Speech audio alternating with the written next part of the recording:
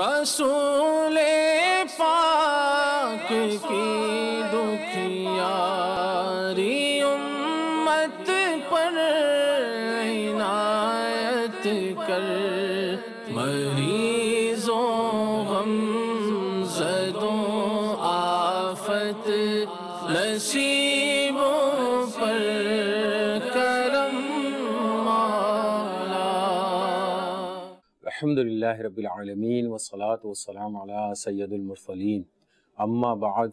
बिल्लाहि मिनश शैतानिर रजीम बिस्मिल्लाहिर रहमानिर रहीम अस्सलातु वस्सलामु अलैका या रसूलल्लाह व अला आलिका व अस्हाबिका या हबीबल्लाह अस्सलातु वस्सलामु अलैका या नबी अल्लाह व अला आलिका व अस्हाबिका या नूर अल्लाह मीठे मीठे इस्लामी भाइयों और मदनी चलन के नाजरीन, गर्मी हमारी लिए जहाँ बहुत सारे फ़वाद लेकर आती है। अगर हम इसका सही तरीके से अपनी एहतियातें ना करें तो हमारे लिए ये नुकसानदेह भी साबित हो सकती है। गर्मी की वजह से हमारे जिसम पे बहुत सारे असरात पैदा होते हैं, जो मामूली मामूली कोशिश करके जिनसे हम आसानी के साथ बच सकते हैं। हमारे जिसम का अपना एक बॉडी टेम्परेचर होता है जिस्म की एक दर्जा हरारत होती है। जो हद से तजावज़ अगर करती है तो वो हमारे जिसम का तमाम का तमाम डिस्टर्ब हो जाता है, तमाम का तमाम निज़ाम जो है, वो फ़ाल तरीके से काम नहीं कर पाता। जिसकी वजह से हमें मुख्तलिफ़ परेशानियों का सबब बन जाता है और बाज़ ये जानलेवा भी साबित हो सकती है। छोटी छोटी एहतियातें छोटी छोटी बातें, जिनको हम आम तौर पे नेगलेक्ट कर देते हैं अगर हम वो अपने रोज़मर्रा लाइफ के अंदर उसको अपना लें तो मेरे ख्याल में हम गर्मी के जो असरात होते हैं हमारे जिसम पे उससे हम काफ़ी हद तक बच सकते हैं। डॉक्टर साहब ये जो गर्मी के अंदर अमूमन ये देखा जाता है कि अगर गर्मी लग गई है किसी को तो इसकी डायग्नोसिस कैसे बनाई जाएगी कि ये गर्मी से मुतासर हो चुका है? देखिए अ, जहाँ तक गर्मी से मुतासर होने का ताल्लुक है तो दो तीन चीज़ें बड़ी काउंट करती हैं।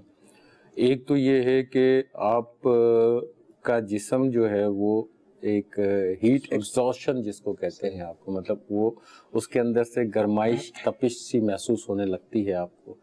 प्यास की शिद्दत ज़्यादा हो जाती है कमज़ोरी ज़्यादा महसूस होने लग जाती है सर में दर्द होने लग जाता है। ब्लड प्रेशर भी लो हो जाता है। बिल्कुल सर में दर्द भी होता है बीपी पे भी इफ़ेक्ट पड़ता है मतली की कैफियत भी होती है। बाज़ अवत ये होता है कि उल्टी की कैफियत भी हो जाती है।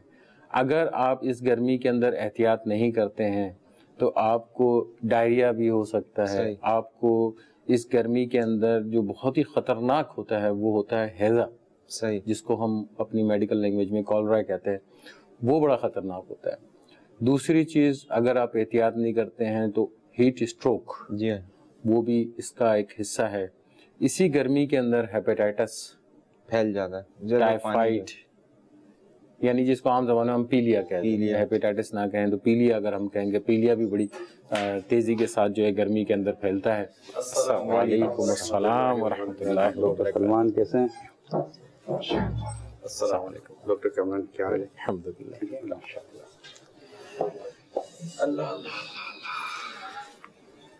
तो गर्मी के अंदर पीलिया जो है वूमन देखा गया कि पीलिया भी ज़्यादा हो जाता है। ये गर्मी में बिलखुसूस ये पीलिया क्यों फैल जाता है?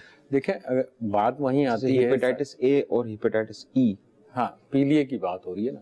अब इसमें सारी चीज़ें आती हैं कि आप जो गर्मी के अंदर पानी जो है उसका इस्तेमाल ज़्यादा होता है। जब पानी का इस्तेमाल ज़्यादा होता है तो लोग बाहर की तरफ़ निकले होते हैं बाहर। जो रेडिया वगैरह होती है वहाँ से मशरूब वगैरह इस्तेमाल करते हैं। तो वो अनहाइजेनिक होते हैं इतने ज़्यादा साफ़ सुथरे नहीं होते। अक्सर बीमारियाँ गर्मियों में इन्हीं की वजह से लगती है।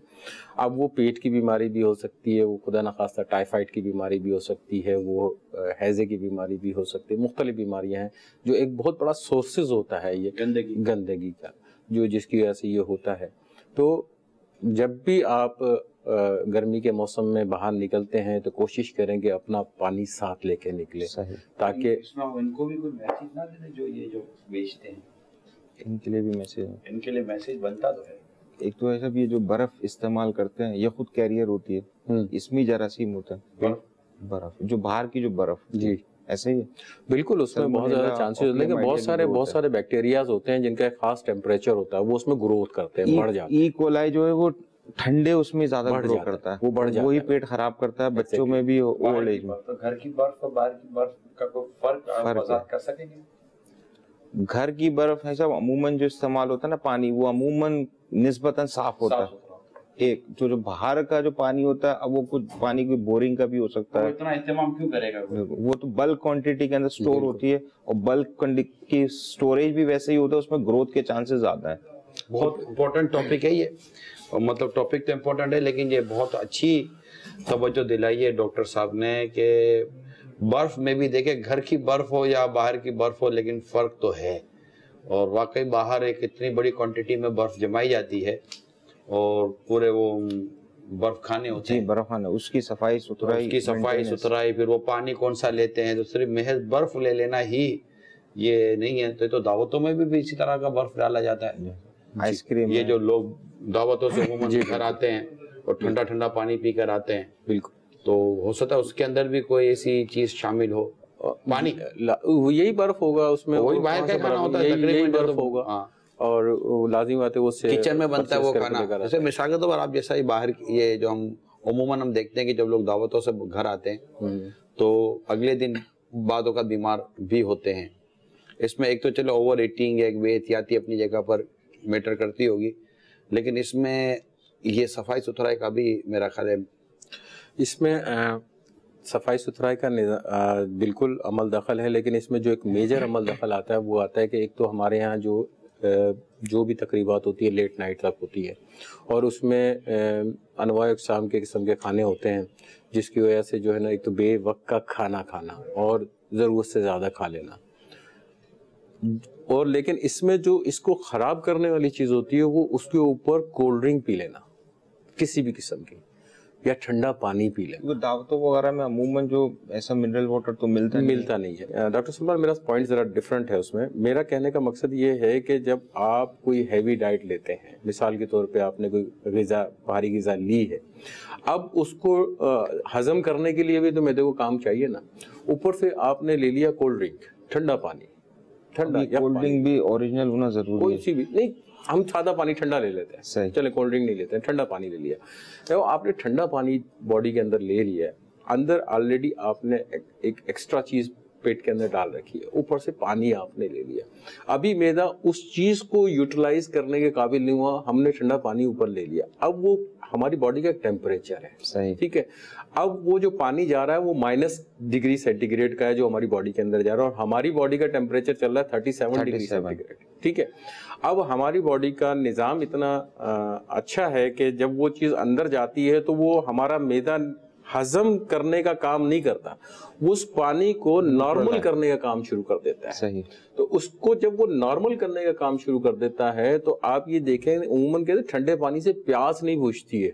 उसकी रीजन यही होती है। मेटाबॉलिज्म स्लो हो जाता है। Exactly exactly. वो स्लो हो जाता है जब उसमें से जो सिक्रेशन निकलने लग जाती है तो आपको मजीद प्यास लगने लग जाती है। बहुत सारी चीज़ें सीखने को मिल रही हैं। मदनी चैनल के नाजर ये दावत इस्लामी के मदनी क्लिनिक का आज मैं समझता हूँ कि ये वन एंड ओनली इसको कह सकते हैं सिलसिला इस तरह का कि इतनी इंफॉर्मेटिव ये अल्हम्दुलिल्लाह सिलसिला है और ये ठंडे पानी के हवाले से जो अंदर में फिर हमारा टेम्परेचर अंदर का इतना माइनस पानी जाना और वो खाने को जो हजम करने का जो प्रोसेस था उसको रोक देना।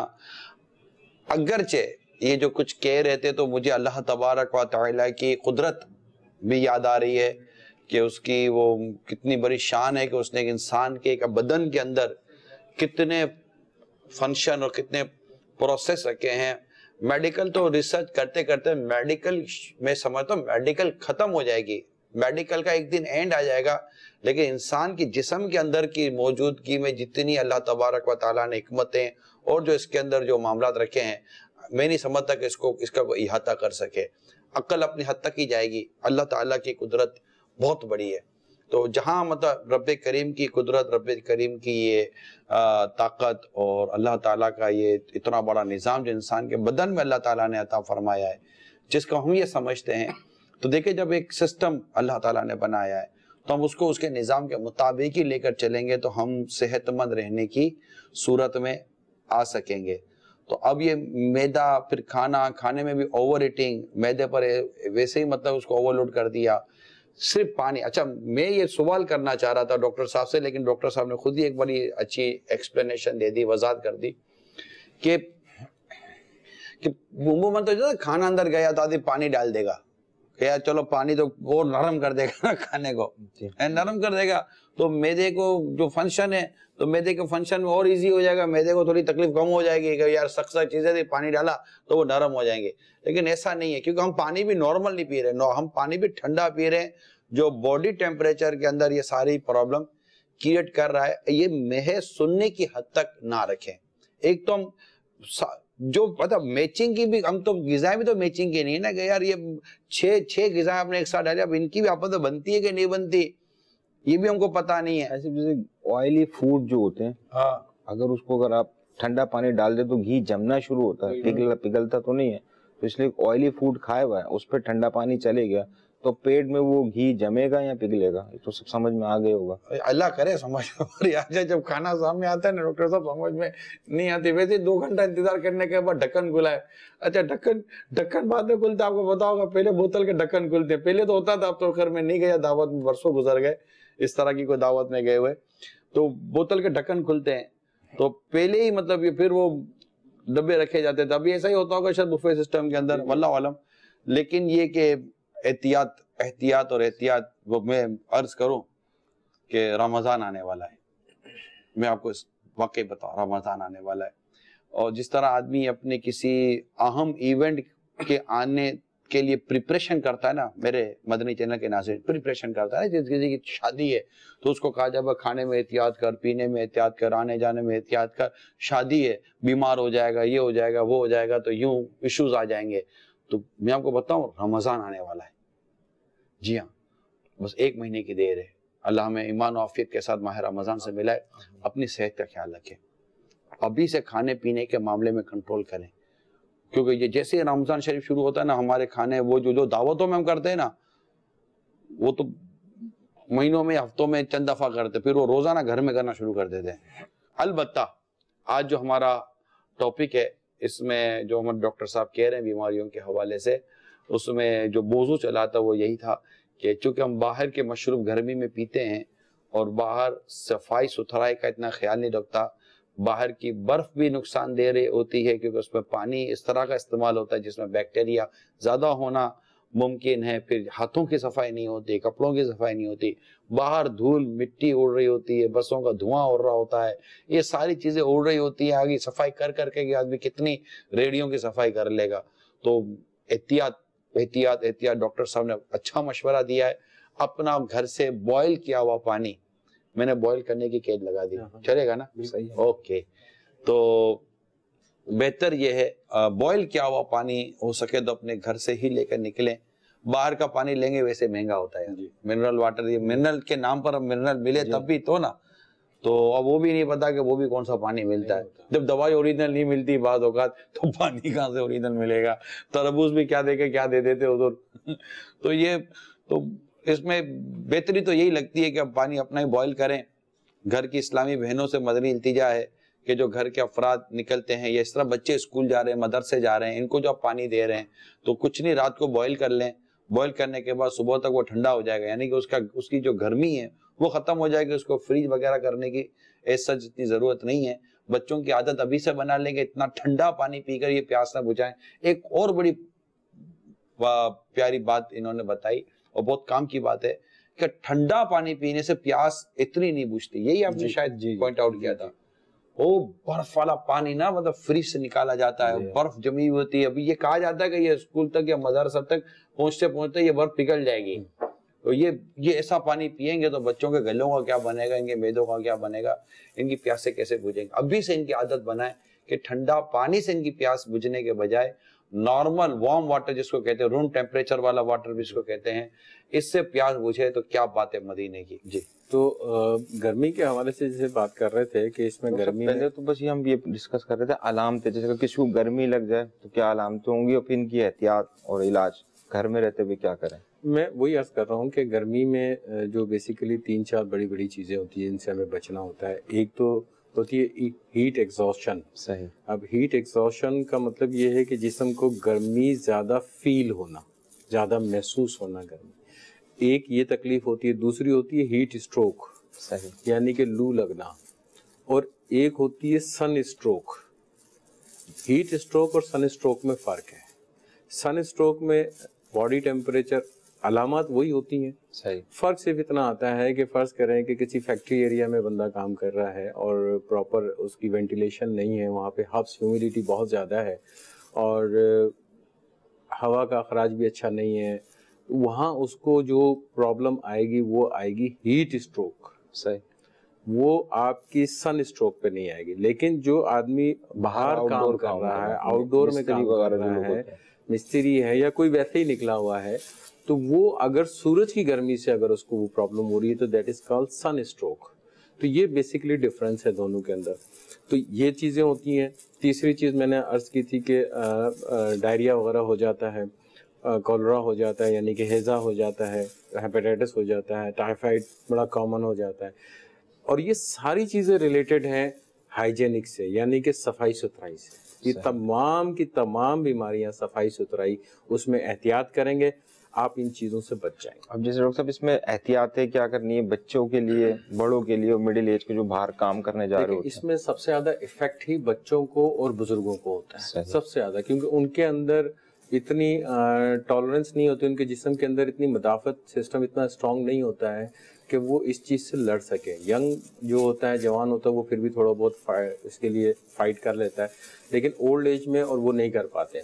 उसमें दो तीन चीज़ें बड़ी इंपॉर्टेंट हैं। सबसे पहला तो ये काम होता है कि आप उस टाइमिंग में बाहर ना निकलें।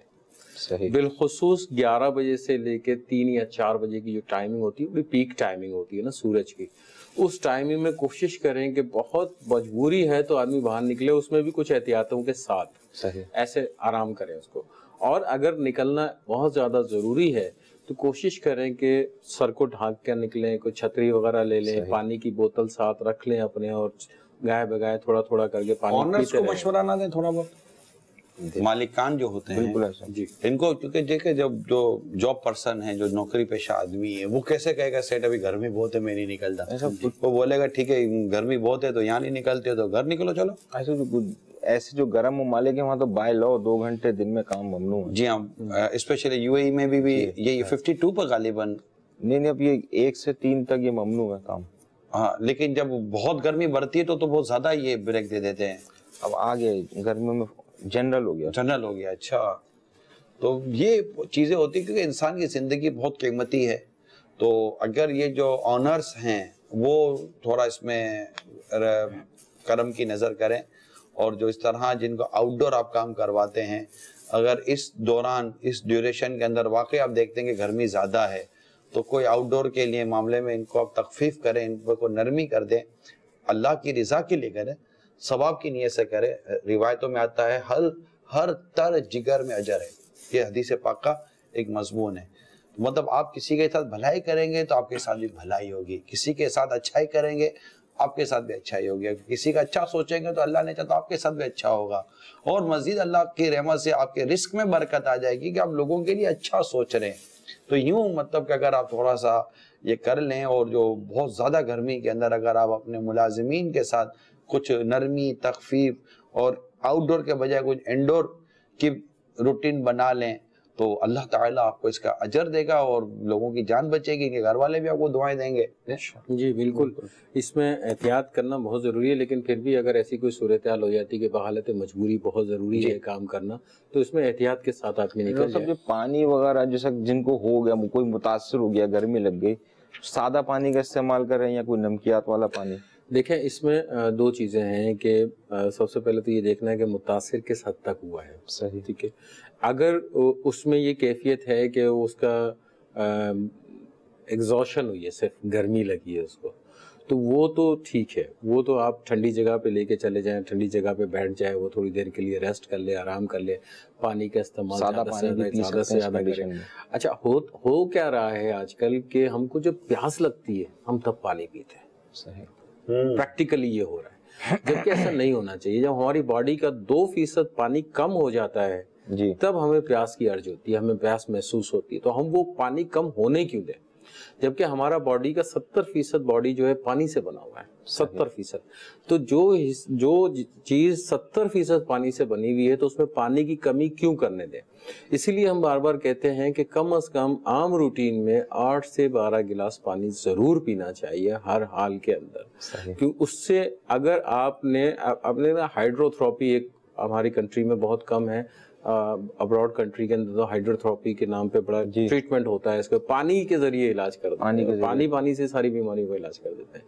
कि इतना पानी पी लें इसमें पानी के ज़रिए ब्लड प्रेशर कंट्रोल भी है डिप्रेशन का कंट्रोल दस बारह दस बारह गिलास अगर एक इंसान के बदन में जब दस बारह गिलास अब देखिए जैसे मिसाल के तौर पर आप ये प्याला है ना।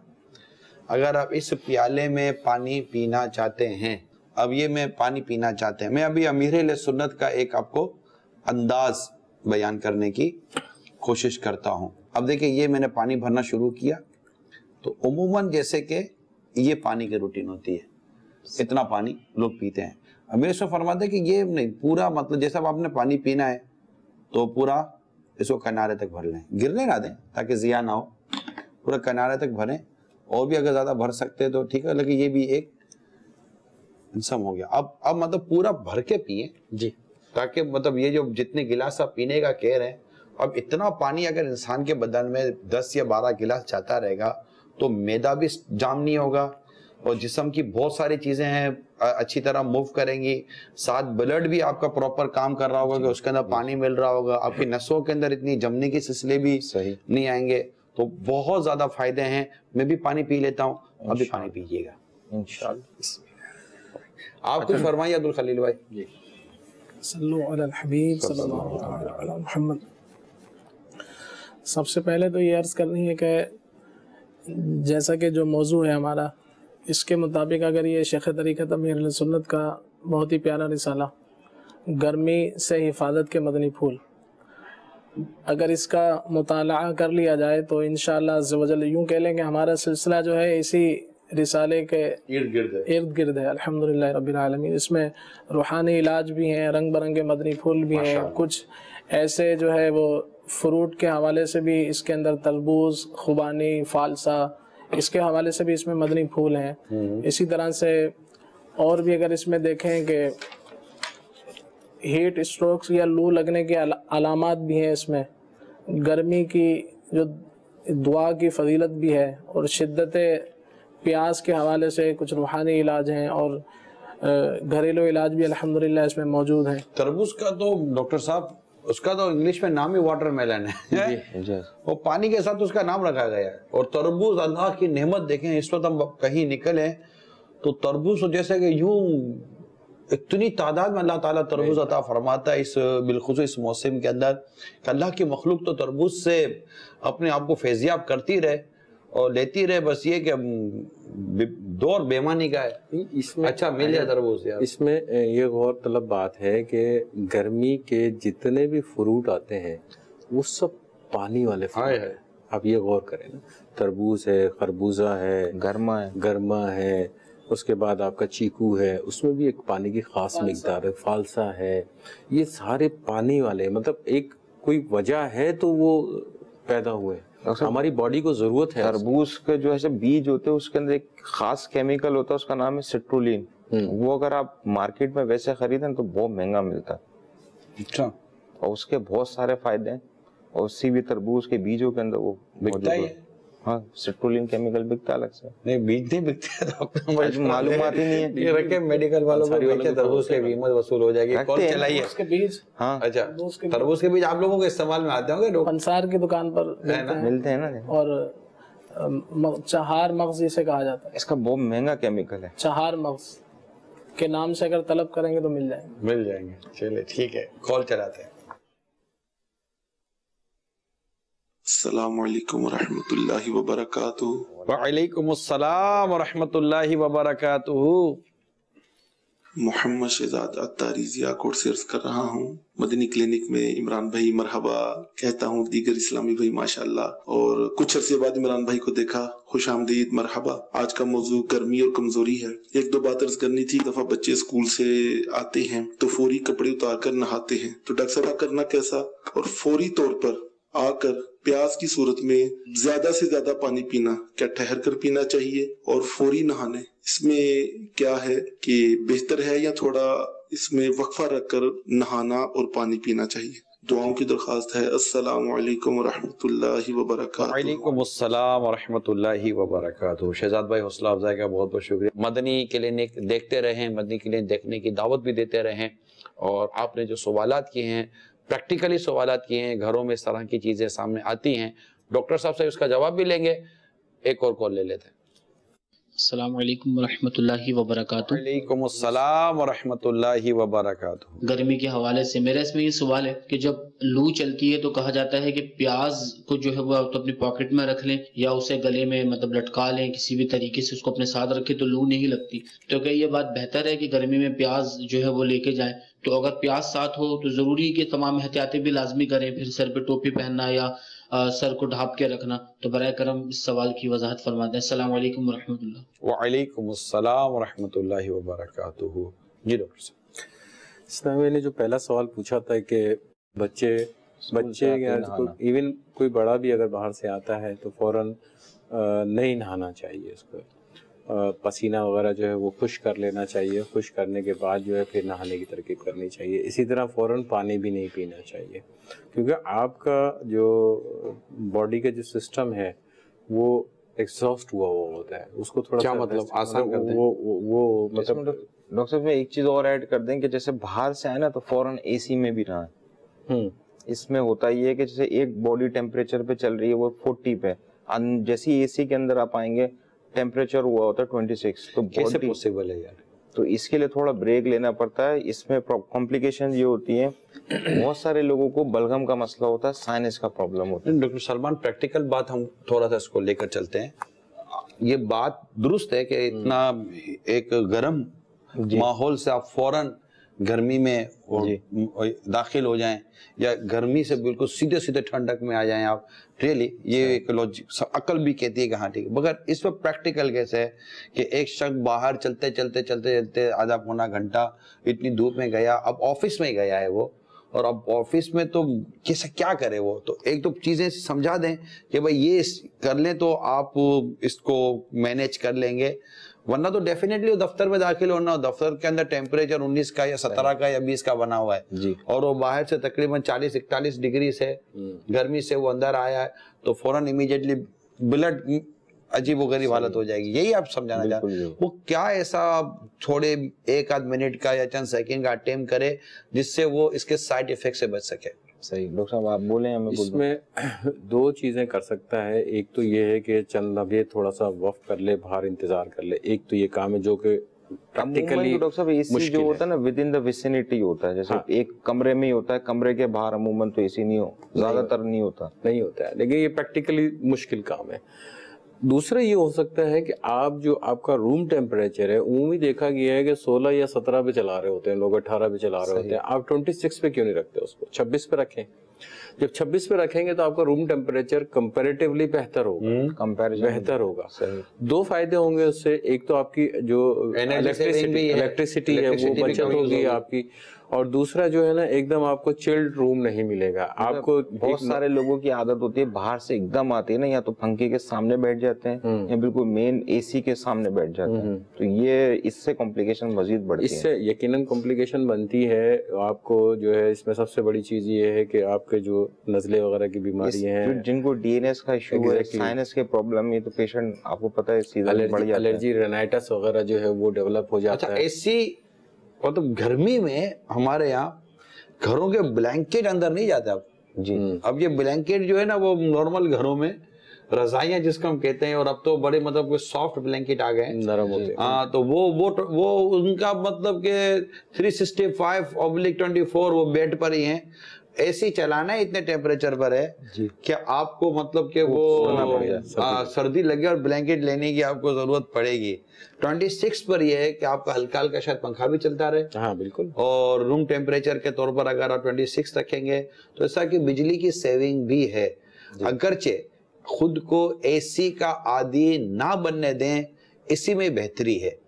क्योंकि हम जिस मुल्क में रहते हैं या इस तरह के कई ममालिक हैं जिनका मेरा भी जाना हुआ है, सिर्फ़ पाकिस्तान की बात नहीं है लोड शेडिंग हमारे मुल्क से ज़्यादा कई और ममालिक में भी है, जिसको मैं देख कर आया हूँ।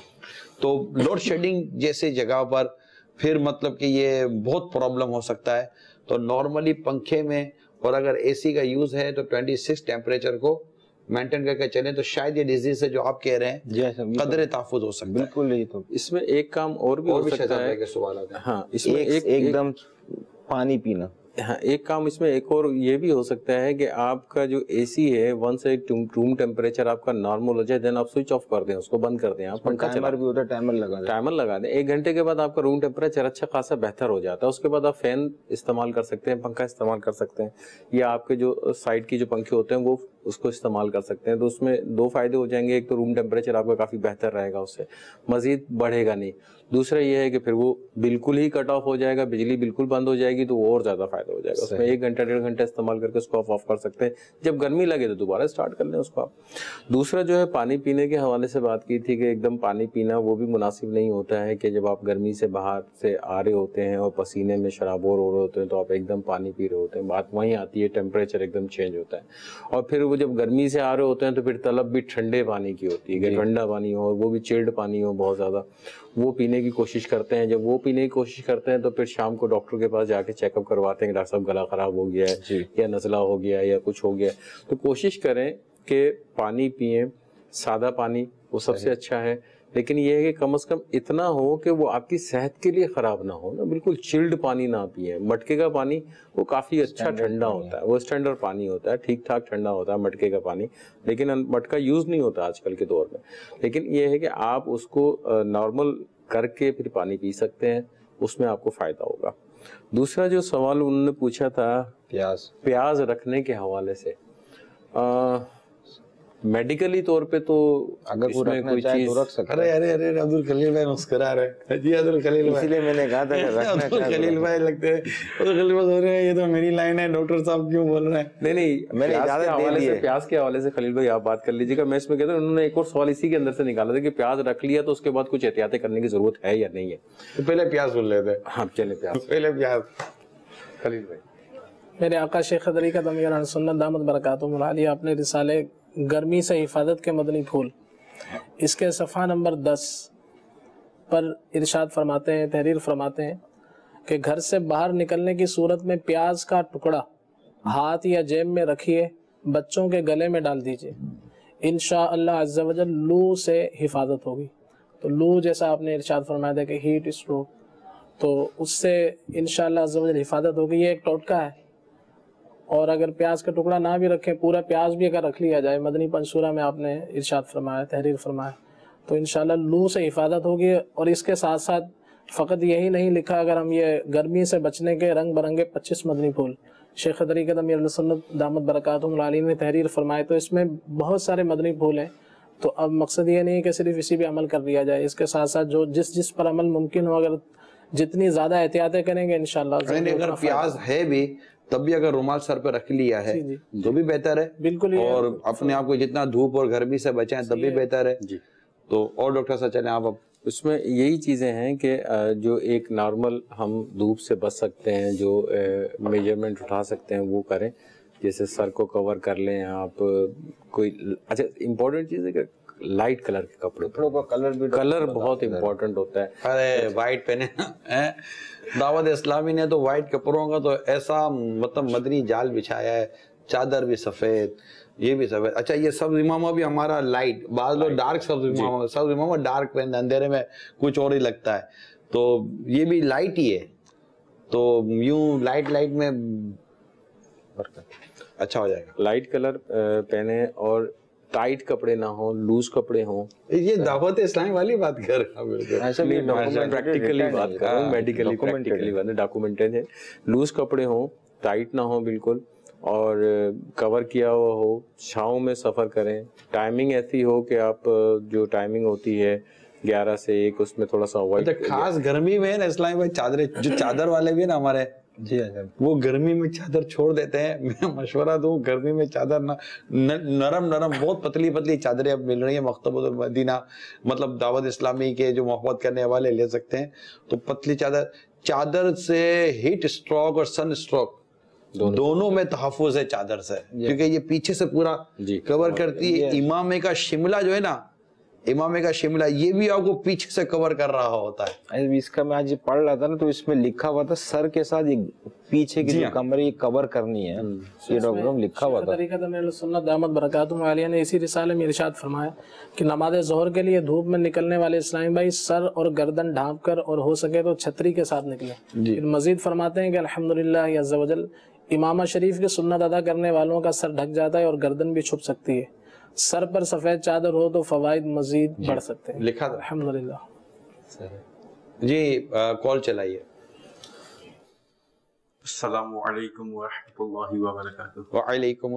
वरहमतुल्लाहि वबरकातुहू। मेरा नाम मोहसिन है। क्लिनिक के सिलसिले में मेरा ये सवाल है कि मैं बाहर काम करता हूँ तो पूरे दिन में मुझे कितना पानी पीना चाहिए? बर करम जवाब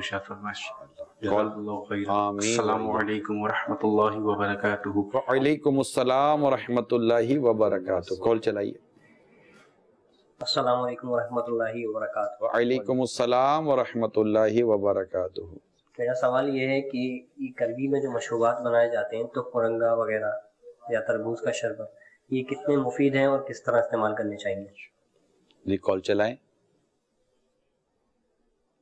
अस्सलाम वालेकुम वरहमतुल्लाहि वबरकातुहू वालेकुम अस्सलाम व रहमतुल्लाहि इमरान भाई मैं लंदन से बात कर रहा हूँ। तो मैंने सर पता ये करना था कि जो वाटरमेलन होता है इसमें जो बीज होता है वो हम खा सकते हैं? और दूसरा ये कि वाटरमेलन के बाद लोग बहुत सारे लोग कहते हैं कि पानी नहीं पीना चाहिए। इसके बारे में प्लीज़ मैं हमारी रहनुमाई फरमा दीजिए। अस्सलाम वालेकुम वरहमतुल्लाहि वालेकुम वबरकातुहू। अस्सलाम व रहमतुल्लाहि व बरकातुहू आपने लंदन से कॉल किया आपका बहुत बहुत शुक्रिया। जिन जिन इस्लाम भाई ने कॉल की अल्लाह ताला आप सबको जज़ा खैर अता करे। डॉक्टर साहब से भी जवाब लेते हैं कुछ अब्दुल खलील भाई से भी जवाब लेते हैं। अच्छा। जी डॉक्टर साहब। पहला सवाल जो आया था कि ये इस्लामी बाहर काम आउटडोर का काम ज़्यादा है इनका। अगर इनका आउटडोर का काम ज़्यादा है तो अपने काम की नोयत देख लेंगे कितनी देर तक लगे हुए रहते हैं। तो इसके हिसाब से कम से कम कम से कम इनको पंद्रह से अठारह गिलास पानी पानी पीना चाहिए। पंद्रह से अठारह। गिलास रिकमेंड है। बिल्कुल है। पंद्रह अठारह गिलास। बिल्कुल पीना चाहिए। बिल्कुल। और उसमें बिल्कुल सुस्ती ना करें। इसमें बातों का क्वांटिटी रहती नहीं है। अमीर सुन्नत ने एक बड़ा प्यारा अंदाज निकाला था। मतलब आपने एक मेज़रमेंट है आपके पास आप बोतल का हिसाब रख लेते थे। कि एक बोतल पूरी हो गई हो जाएगा तीन या चार चार गिलास हम लिया चार गिलास मैंने पूरे पी लिया अब दो बोतल तीन बोतल तो ये बोट एक डेढ़ लीटर लीटर वाली। लीटर वाली बोतल तो तीन लीटर पानी हो जाएगा ना?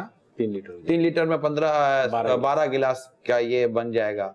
तो ये भी एक कैलकुलेशन अपनी प्रॉपर रखने के लिए भी एक हिकमत भरा एक मदनी फूल है। जी डॉक्टर साहब। दूसरा इसमें सवाल था कि गर्मी के मशरूफात कितने फ़ायदेमंद होते हैं जो बनाए जाते हैं। लेकिन अगर जो घर पे बनाए हुए हैं तो वो तो बहुत फ़ायदेमंद है। सही। बाहर के बने हुए मशरूबात के लिए हम नई तजवीज़ देंगे कि आप बाहर से बने हुए मशरूबात हैं घर पे आप बना लें तरबूज का भी बन जाता है फालसे के भी बन जाते हैं घर में बन जाते हैं। मतलब कौन सा मशरूब घर में नहीं तैयार हो सकता? मशरूब किसी मतलब पानी आप किसी भी सूरत में गर्मी के अंदर जो है अपने जिस्म के अंदर लेना है। अब वो आप मशरूब की शक्ल में ले लें या किसी ऐसी शक्ल में ले लें जैसे बाजारी जूसेस से उससे थोड़ा सा अवॉइड करें। डॉक्टर साहब ने थोड़ा सा कहा है मैं अगर थोड़ा सा इजाज़त देते तो बिल्कुल कि जित अवॉइड ही करें। हम घर में फ्रूट अब अब तो तकरीबन घर में जूस निकाल लेते हैं यार। वैसे फूल फल का जूस ही निकालना है ना। सारे फलों का निकल जाते हैं अब तो मतलब वैसे वो कौन सी कुछ जी। इंशाल्लाह गर्मी से बचने के लिए हीट स्ट्रोक से बचने के लिए कमज़ोरी के लिए फरमाए फरमाए। हाथों तो इसके लिए आज घरेलू इलाज में अल्हम्दुलिल्लाह हमारे पास। है कोई शरबत बना रहे शरबत बने हैं। अरे शरबत। आपने फरमाया घर के इस्तेमाल करें तो इंशाल्लाह। हाँ हाँ बताए बताए। सबसे पहले तो दो रूहानी इलाज अर्ज़ कर देता हूँ। जी बिल्कुल। मौसम गर्मा की बीमारियों से बचने का रूहानी इलाज। ये मेरे शेख तरीक़त अमीर सुन्नत का रिसाला गर्मी से हिफाजत के मदनी फूल के सफ़ा नंबर छः पर, सिक्स पर मौजूद है।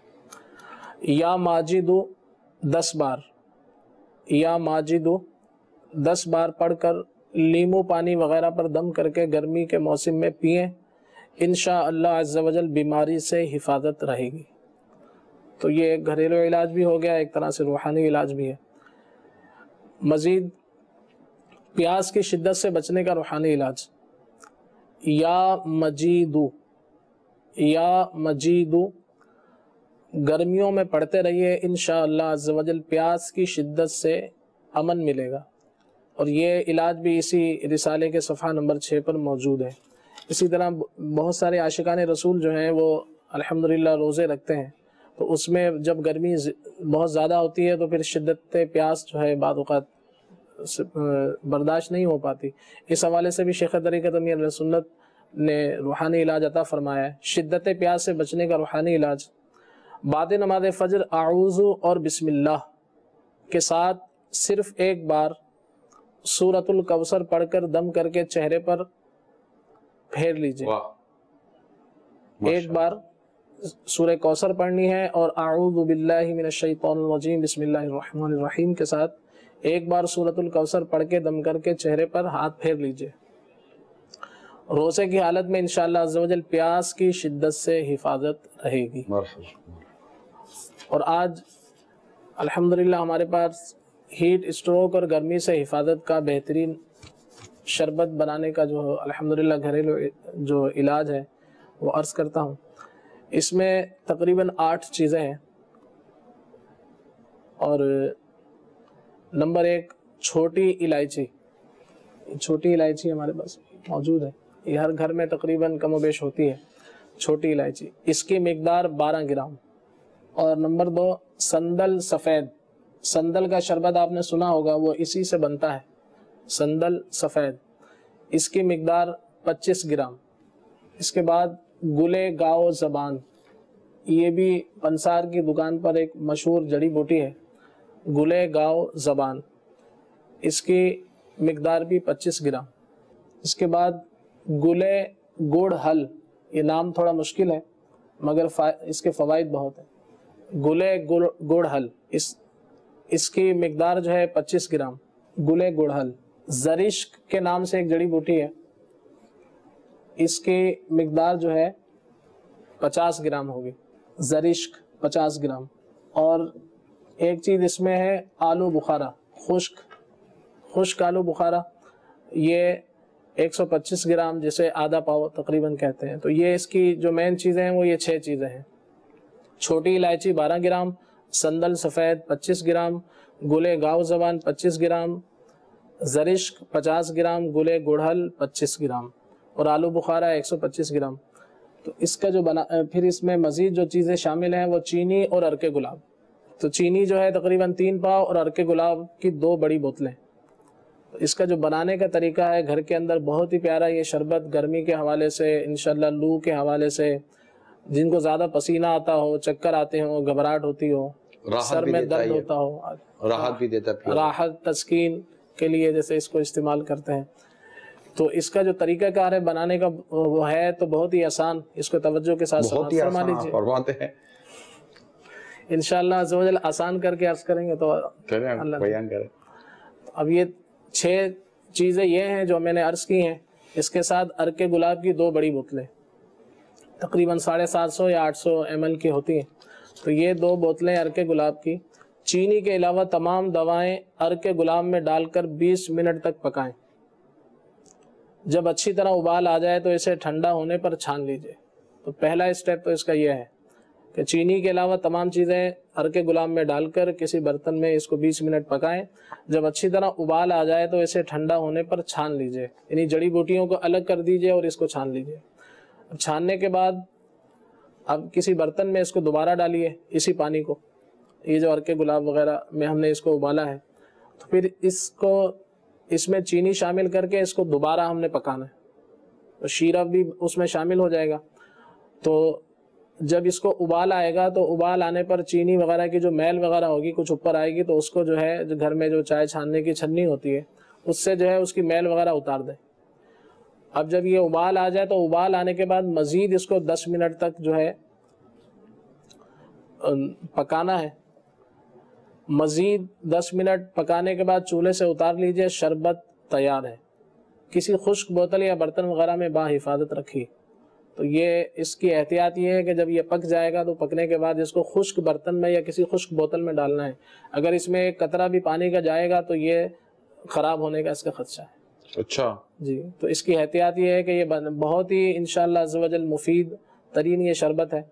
और इसके अंदर ये जो जो चीज़ें शामिल की गई हैं अल्हम्दुलिल्लाह ये तिब के हवाले से यानी पंसार के पास या तबीबों के पास ये अल्हम्दुलिल्लाह बहुत ही मायारी चीज़ें कहलाती हैं। तो इसकी जो मकदार है, इस तरह ये शरबत तैयार हो जाएगा। तो दिन में दो तीन बार, तीन या चार चम्मच ठंडे पानी में शामिल करके पिए। इसके जो फ़वाद हैं इन हीट स्ट्रोक लू लगना, ज़्यादा गर्मी का लगना, ज़्यादा पसीना आना, चक्कर, घबराहट, मतली और कमज़ोरी दूर करने के लिए बेहद मुफीद है। शुगर वाले शरबत के बजाय इसका जोशानदा इस्तेमाल कर लें। मसलन के छो, जैसे छोटी इलायची है तो एक दो छोटी इलायची डाल ली संदल के दो तीन टुकड़े डाल लिए और गुले गाव जबान है जरिश्क है गुड़ल है तो इसके थोड़े थोड़े जैसे मिसालें इतना इतना डाल लिया। तो इसकी एक खुराक इस तरह से बनाकर हर के गुलाम में थोड़ी देर जैसे पका कर छान कर उसको पी लें तो ये उनके लिए इस तरह से इनशाला फ़ायदेमंद है। तो बहुत ही ये मुफीद तरीन अज़्ज़वजल शरबत कहला साबित होगा। तो अगर हो सके तो आपसे ज़रूर इसको घर में बनाइए। और अगर जो ये बिलफर्ज है कि ना बना पाए, इसके अलावा भी एक बिल्कुल मुख्तसर सा जो है एक मज़ीद घर, गर्मी और लू से हिफाजत का घरेलू इलाज है। वो ये है कि नंबर एक इसमें दो चीज़ें गोंद कतीरा और तुख्मे बालंगा। गोंद कतीरा और तुख्मे बालंगा तो गोंद कतीरा को कुछ बारीक कर लिया जाए। ये तुख्मे बालंगा और गोंद कतीरा ठीक है। ये दोनों चीज़ें हैं दोनों हम वज़न लेकर गोंद कतीरा को कूट कर बारीक कर लीजिए और दोनों को मिलाकर घर में किसी चीज़ में रख लीजिए। तो मकदार इसकी जो खुराक की जो मकदार है एक चम्मच दूध या पानी या किसी भी मशरूब में मिलाकर दिन में दो बार इस्तेमाल कीजिए इन शजल गर्मी लू प्यास की शिद्दत वगैरह में बहुत ही मुफ़्त मतलब ये शरबत नहीं है। ये है। ये एक तरह से सफूफ है। कमज़ोरी कमज़ोरी के लिए फ़ायदेमंद है। कमज़ोरी में कमज़ोरी के लिए जो हमने पहले अर्ज़ किया है वो ज्या- इससे ज़्यादा फ़ायदेमंद है। और ये गर्मी के लिए लू के लिए जैसे जो शरबत ना बना पाए तो उनके लिए बहुत ही आसान तरीन और गर्मी लू से घबराहट से प्यास की शिद्दत वगैरह से बचने के लिए ये दो चीज़ें जो है उसको गोंद कतीरा को कुछ बारीक कर लिया जाए और उसके अंदर ये तुख तुख्मे बालंगा दोनों को मिक्स कर लिया जाए हम वज़न लेकर। तो जब भी इस्तेमाल करना हो घर में कुछ शरबत बनाएँ कुछ भी बनाएँ या सिर्फ़ ठंडा पानी फ़कत है तो उसके अंदर थोड़ा सा इसमें एक चम्मच लेकर उसमें डालें और भले उसमें चीनी शहद वगैरह कुछ भी मिलाना चाहें तो मिला सकते हैं। तो इन शाला ये भी एक बेहतरीन शरबत तैयार हो जाएगा। हबीब और कॉज थी हमारे पास? इस्लामी भाई ने सवाल पूछा तरबूज का बीज खाने के लिए। तरबूज का बीज खाया जा सकता है और उसमें जैसे अभी डॉक्टर सलमान ने बताया कि उसमें एक ख़ास अज्जा होता है, जिससे हमारे जिस्म में बड़ा फ़ायदा होता है तो उसको इस्तेमाल करने में कोई मुजायका नहीं है। और जहाँ तक उसके बाद पानी पीने का सवाल है तो तरबूज में होता ही पानी है तो फिर पानी पीने की हाजत क्या महसूस होती है? जब उसमें है ही पानी, सारा का सारा तो फिर पानी पीने में कोई हाजत महसूस नहीं होनी चाहिए। तो उसमें मेरे ख्याल में पानी अगर पी भी लिया है तब भी कोई मुजायका नहीं है, कोई नुकसान नहीं होता उसमें। डॉक्टर साहब ये घर के अंदर एहतियाती तौर पे जो नीमकोल का पानी बनाया जाता है वो किस तरह बनाए अगर जैसे बच्चों वगैरह के लिए किसी बड़ों के लिए। देखिए उसमें तो ये है कि पानी बॉईल कर लें सबसे पहले तो पानी बॉईल करें आप पानी बॉईल करके ठंडा कर लें उसको। और उसके बाद एक ख़ास मकदार में नमक का इस्तेमाल करें क्योंकि अगर फ़र्ज़ करें एक, एक लीटर के एक लीटर है उसके अंदर तो एक लीटर के अंदर जो है दो या तीन चम्मच चीनी की इसमें इस्तेमाल कर लें और एक छोटा चम्मच नमक का उसमें इस्तेमाल कर लें छोटा सा चम्मच जो है उसको इस्तेमाल कर लें। ये बहुत आसान सा सिंपल सा तरीका है जिसको आप ओआरएस के तरीके से इसके पैकेट बने बनाए भी आते हैं। बिल्कुल। उसको ओरल रिहाइड्रेशन सॉल्ट कहा जाता है। बेसिकली ये यूनिवर्सल नेम है इसका। ये इसका जेनरिक नेम नहीं है ये इसका नाम ही यही होता है जिसको हम आम उर्दू में निमकोल कह देते हैं। तो ये आप आराम से घर में बना सकते हैं। उसमें कोई मजायका नहीं है। लेकिन अगर घर में बनाने में किसी को आजमाइश है तो बाज़ार में अवेलेबल है। यूज़ कर सकते हैं लेकिन ब्लड प्रेशर के मरीज़ ना इस्तेमाल करें। ब्लड प्रेशर के लिए डॉक्टर से पूछे बगैर ना करें क्योंकि इसमें नमक बेराल मिला हुआ होता है वो नुकसान दे सकता है। कॉल चलाइए। अरब शरीफ से सद्दाम हुसैन अत्तारी। डॉक्टर साहब से मेरा सवाल ये है कि गर्मी बहुत ज़्यादा अरब शरीफ में तो हम एयर कंडीशन रूम में रहते हैं फिर बाहर जाते हैं फिर अंदर आते हैं इससे कोई फ़र्क पड़ेगा? और बाहर जाते ही बहुत प्यास लगती है फिर आते ही ठंडा पानी पी लेते हैं। कॉल चलाइए। मोहम्मद कैसर बशीर जोराबाद से। मैंने अर्ज़ कर दिया कि मेरे रात को सोते वक्त पाँव बहुत शदीद जलते हैं जब तक ठंडा पानी लगाऊँ कपड़े से तो कुछ सुकून मिलता है। इस तरह के इलाज बताएँ जी इनशाला अल्लाह आपको शिफा अता फरमाए। कॉल चलाइए। डॉक्टर साहब, आपकी बारगाह में एक सवाल है कि मेरी वालिदा हैं। तकरीबन छः सात साल पहले उनके सर में बुखार आ गया था और काफ़ी इलाज हुआ, जिसके बाद इलाज चलता गया। अब कुछ दिनों से क्या हो रहा है कि उनको चक्कर आ रहा है, चक्कर होने के बाद उल्टी होने लगती है और दौरे की जैसा लगता है कभी कभी गिर जाती हैं, होश भी नहीं होता है। तो बरए करम ये क्या वजह है? चक्कर आता है उल्टी होती है बरए करम। इसके बारे में कुछ रहनुमाई फरमाए और कुछ इलाज इरशाद फरमाए। और इसके रूहानी इलाज भी अब्दुल खलील भाई अता फरमाए। इंशाल्लाह अल्लाह करीम आपकी वालिदा को सेहत तंदुरुस्ती अता फरमाए इंशाल्लाह। इलाज भी लेते हैं। कॉल चलाइए अस्सलाम वालेकुम अस्सलाम व रहमतुल्लाहि व बरकातुहू मोहम्मद अदील अत्तारी बाबुल मदीना कराची से कर रहा हूँ। डॉक्टर साहब की बारगाह में अर्ज़ ये है कि मेरा एक भाई है जो बाईस साल का है। उसको अभी पिछले महीने टीबी हो गई थी जो कि मिडिल स्टेज पर थी सेकंड स्टेज पर। और अभी उसको एक महीना जो है ना दवाई खाते हुए हो गए हैं। इस कारण उन्होंने अपना वज़न भी उनका कुछ बढ़ गया है।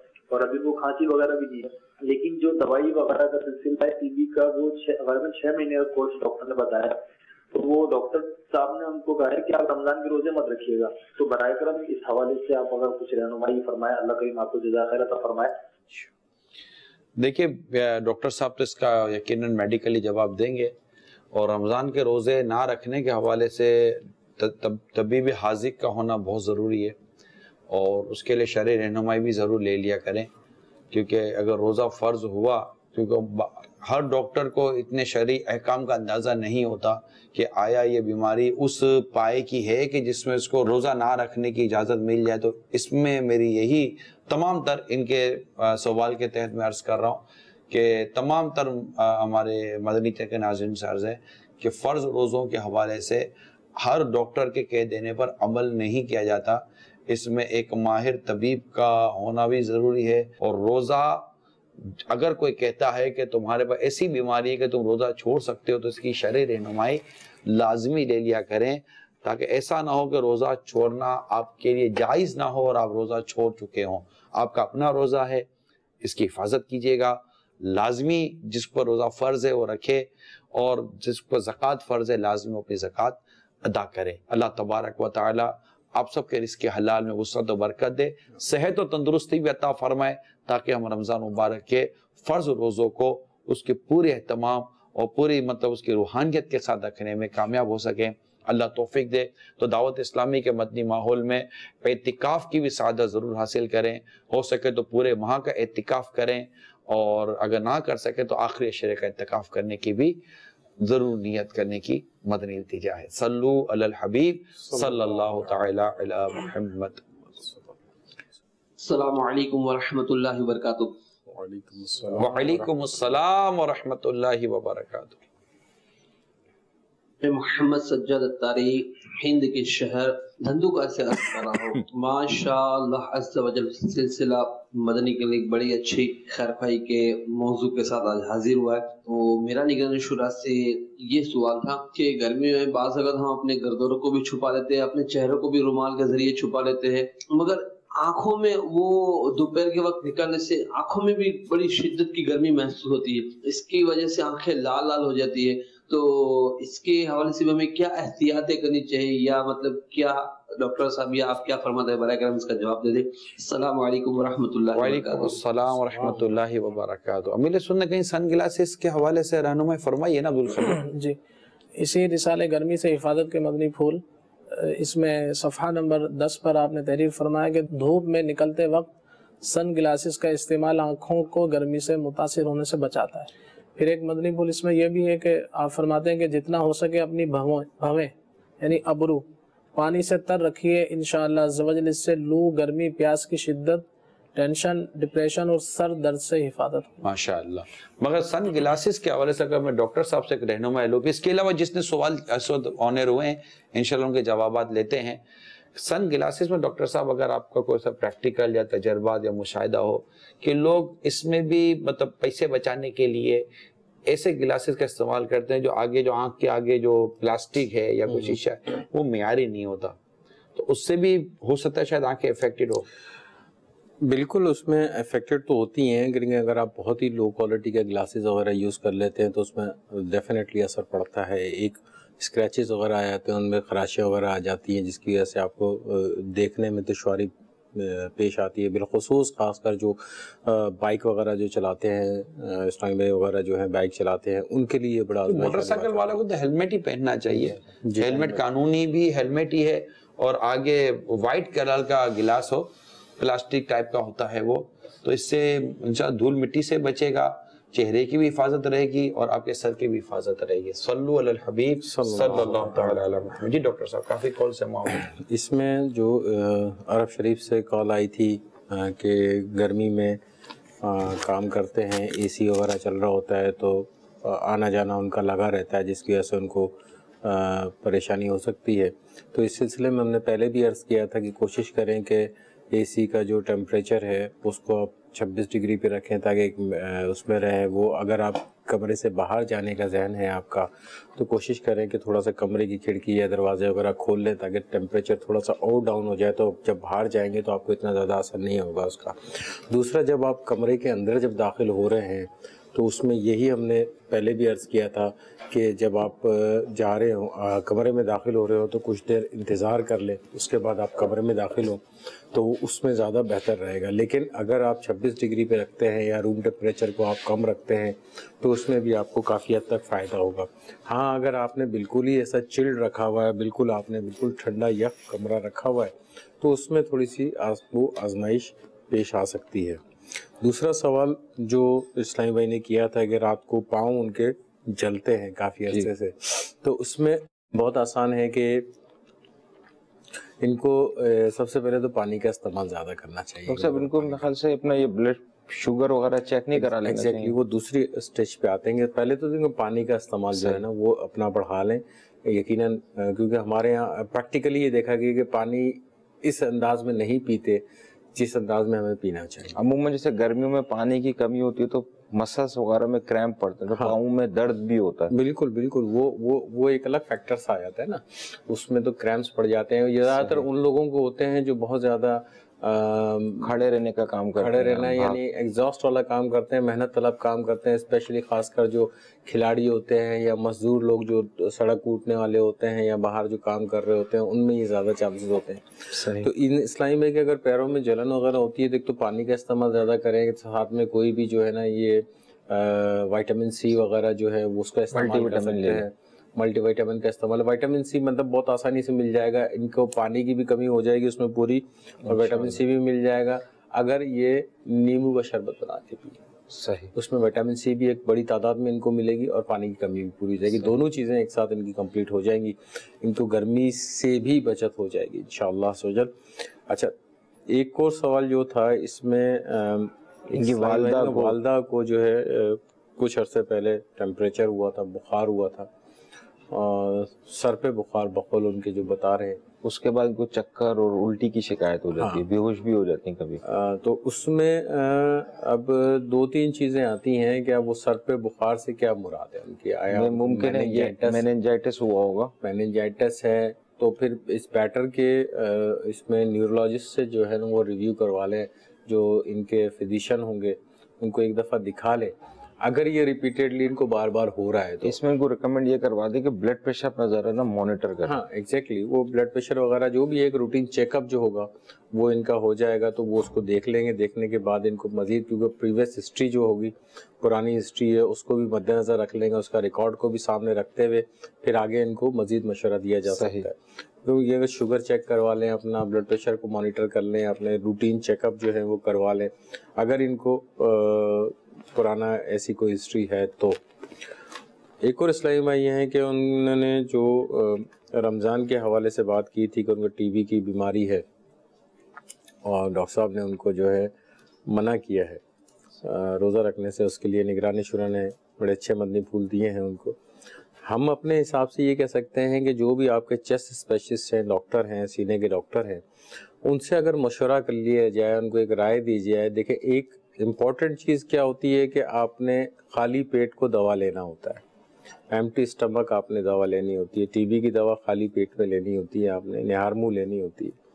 अगर डॉक्टर साहब से मशवरे के बाद जो भी आपके चेस्ट स्पेशलिस्ट हैं कि आप अगर उसको इफ्तार के वक्त ले लें तो उसमें मेरे ख्याल में कोई मुजायका नहीं होना चाहिए। लेकिन मेरी बात को ना रखें अपने स्पेशलिस्ट से ज़रूर मशवरा करें क्योंकि आपकी कंडीशन आपके स्पेशलिस्ट ज़्यादा बेहतर जानते हैं वो ज़्यादा बेहतर तरीके से आपको गाइड कर सकते हैं।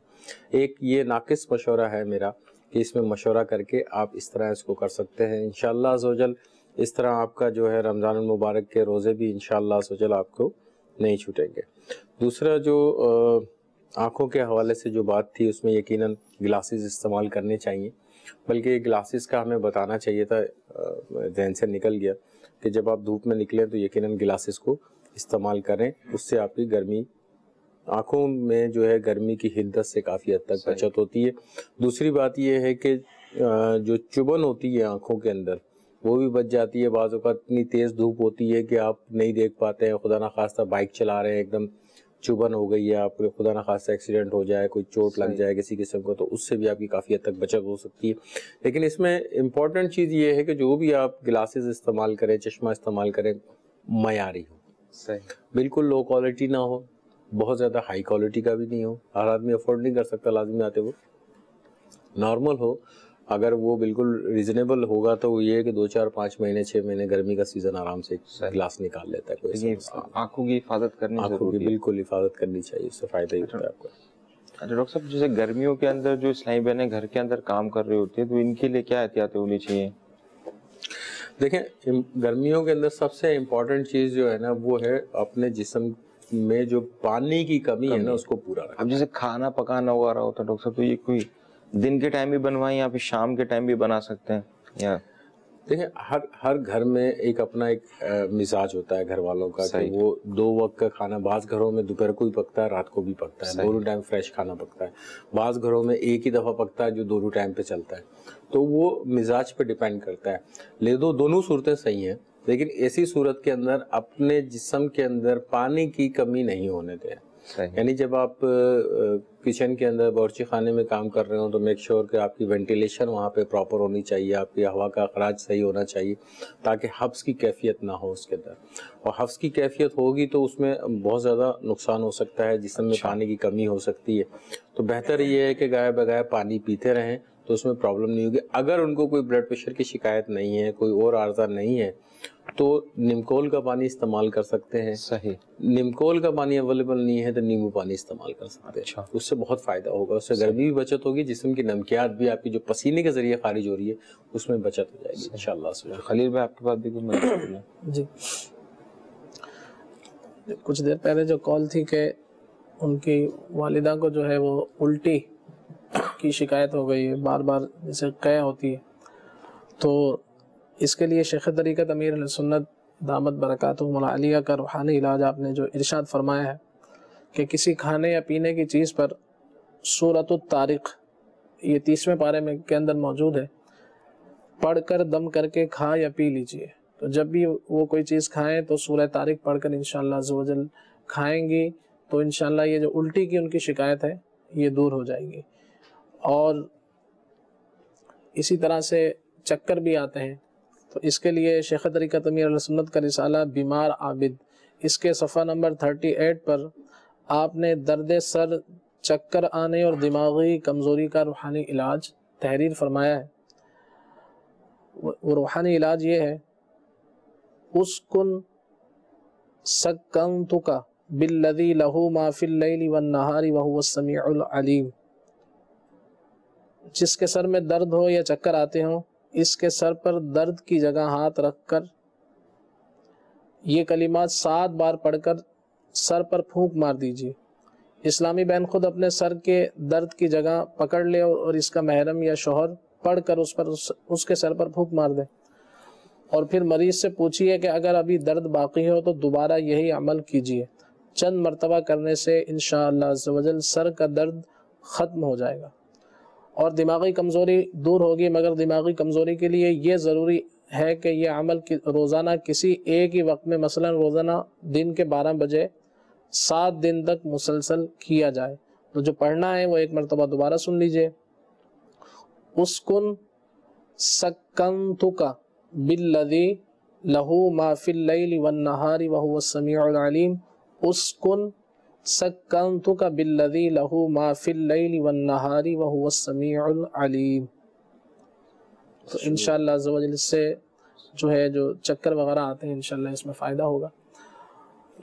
मज़ीद हमारे पास आज जैसे मौजू था कमज़ोरी के हवाले से। इसके लिए शेख तरीका तमीर सुन्नत का जो रिसाला है गर्मी से हिफाजत के मदनी फूल। इसमें कमज़ोरी दूर करने का आपने घरेलू इलाज तहरीर फरमाया इसे समात फरमा लीजिए। बहुत ही आसान है। नंबर एक, इसके अंदर तीन चीज़ें हैं, चीनी दो चम्मच। बेहतर ये है कि ब्राउन शुगर हो। नंबर दो, सफ़ेद नमक एक चम्मच। नंबर तीन, पानी आधा किलो। दोनों चीज़ें पानी में डालकर उबाल लीजिए, यानी चीनी दो चम्मच और सफ़ेद नमक एक चम्मच। इन दोनों चीज़ों को पानी में डालकर उबाल लीजिए। ठंडा हो जाने के बाद बाद इफ्तार एक गिलास पी लीजिए। जिसम में होने वाली पानी की कमी और कमज़ोरी इन शजल दूर हो जाएगी। और आम तौर से जो मरीज़ होते हैं, इनके लिए भी मरीज़ों की कमज़ोरी दूर करने के लिए भी ये पानी मुफीद है। शुगर और हाई ब्लड प्रेशर के मरीज़ डॉक्टर के मशवरे के मुताबिक अमल करें। और ये रिसाला गर्मी से हिफाजत के मदनी फूल के सफ़ा नंबर नौ पर यह घरेलू इलाज मौजूद है। वहाँ से भी देखा जा सकता है। माशाल्लाह। अच्छा इसमें सलमान भाई एक और इम्पोर्टेंट चीज़ इस पर इन बात कर लेते हैं कि एक चीज़ होती है हीट इंडेक्स ठीक? ये बहुत इम्पोर्टेंट होती है। अक्सर लोग ये कहते हैं कि जी यार मई के महीने के अंदर जो है ना इतनी गर्मी नहीं लगती जितना सितंबर के महीने के अंदर या अक्टूबर के महीने के अंदर या अगस्त के महीने में गर्मी लगती है। उसकी रीज़न क्या होती है? उसकी रीज़न ये होती है कि जब मई का महीना है या अप्रैल का महीना स्टार्ट हो रहा होता है तो उसमें अगर टेम्परेचर यानी कि जो है वो 40 डिग्री सेंटीग्रेड है 40 डिग्री पे है या 45 डिग्री पे है तो उस वक्त हवा में जो नमी का तनासुब होता है वो कंपेरेटिवली कम होता है। सही। ठीक है ना? कम होता है तो जिसकी वजह से वो मिसाल के तौर पे उसमें 50 तनासुब है उसका और 45 डिग्री सेंटीग्रेड है या 40 डिग्री सेंटीग्रेड जो है ना आपका इसका टेम्परेचर है। तो उसमें जो एक इंडेक्स बनता है वो तकरीबन 55 के करीब बनता है। सही। ये एक थोड़ी टेक्निकल चीज़ें हो सकता है हमारे मदनी चैनल के नाजिन को समझ में ना आए लेकिन ये बताना इसलिए ज़रूरी था कि ये उमन होता क्यों है? हम ये ना समझें कि हमें सिर्फ़ गर्मी से ही हमें हीट स्ट्रोक हो सकता है। हमें अगस्त के महीने में भी हो सकता है। हमें सितंबर के महीने में भी हो सकता है। उसकी रीज़न यही होती है कि वहाँ पे आपकी जो नमी है वो बढ़ जाती है। जब नमी बढ़ जाती है तो आपके बॉडी का सिस्टम जो है वो आपके जो कंट्रोल सिस्टम होता है ना वो कंपेयर नहीं कर पाता उसको मैनेज नहीं कर पाता सही तरीके से। जिसकी वजह से आपको पसीना बहुत ज़्यादा अखराज हो रहा होता है जिसम से खारिज हो रहा होता है जिसमें पानी बहुत ज़ाया हो रहा होता है नमकिया ज़ाया हो रही होती है जिसकी वजह से आप मुश्किल में पड़ मतलब सकते हैं कमोबेश जो गर्मियों का जो सीज़न होगा पूरे तीन से चार माह मुस्तकिल एहतियातें करनी है। बिल्कुल बिल्कुल। आप अब सितंबर तक आपने कंटिन्यूसली एहतियातें सितंबर तक सितंबर को उम्मीद तौर पे जो है हमारे एक बुज़ुर्ग थे वो बोलेंगे सितमगर भी कहते थे कि सितमगर महीना बहुत ज़्यादा हब्स होता है उसके अंदर बहुत ज़्यादा, क्योंकि बरसातों का भी सीज़न होता है उन दिनों में तो ह्यूमिडिटी बहुत ज़्यादा हो जाती है, जिसकी वजह से जो है ना ये प्रॉब्लम आ जाती है। तो इसमें थोड़ा सा एहतियात करना चाहिए। तो मदनी चैनल के नाजरन, आज हमने गर्मी के हवाले से कुछ मदनी फूल आपको दिए, कुछ एहतियातें आपको बताई हैं, कुछ घरेलू इलाज, तिब्बी इलाज भी अपने कुछ अर्ज़ किए हैं। उम्मीद है आप इन पर अमल करेंगे और गर्मी से बचने की कोशिश करेंगे। इन शजल सल्लु अलल हबीब, सल्लल्लाहु तआला अला सल्लल्लाहु अलैहि वसल्लम। रसूल पाक की दुखियारी